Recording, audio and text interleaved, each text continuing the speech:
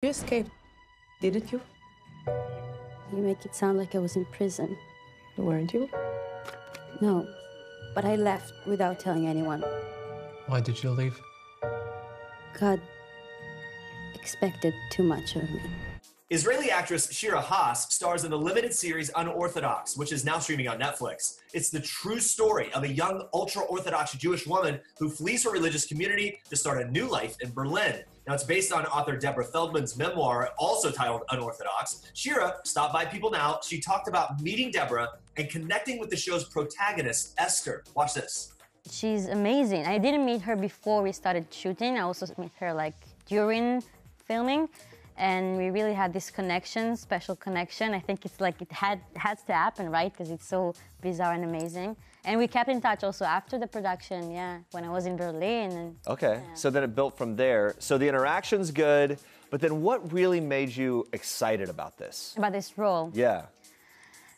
I mean, so many, I mean, so many things. You have this as an actor that sometimes when you get a role, you see it, you're like feeling that you have to do it. You can need if there's such thing. But this is like the strongest feeling I've ever had to tell this story. It's so well written. It's such a complex character, probably the most complex character I've ever did. And it's really a gift for an actress. And to tell this story about this girl finding her voice against all odds, and it's in such a unique coming of age story. It was just, it really blew my mind. And so Yeah. Esther here is the protagonist. Yes. Um, we kind of talked about this a little bit, things you learned about her or as you played the role. But what did you connect to the most? That like, oh my gosh, this is just like me. Anything?